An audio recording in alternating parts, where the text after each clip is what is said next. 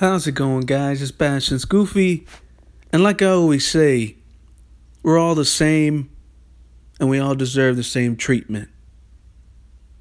So if you're good, of course, you get better treatment. If you're bad, you're trash. Same thing I always say. But at the end of the day, we're all the same. Whether you have more money or less.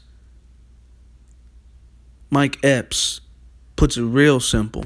Now, perfect example. When that stuff happened down in Houston, it was it was millionaires in that water with them poor people. The bank is closed, suckers.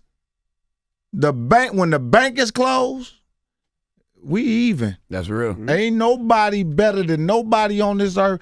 You can't take it with you. right. You see what I'm saying? And see, that's that's that's the thing about it is, is that you cannot ride with that in your head. You got to understand that. Guess what?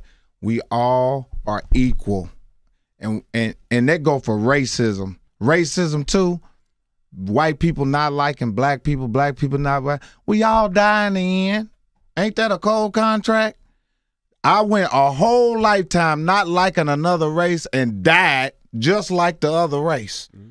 Sound like equal equality to me.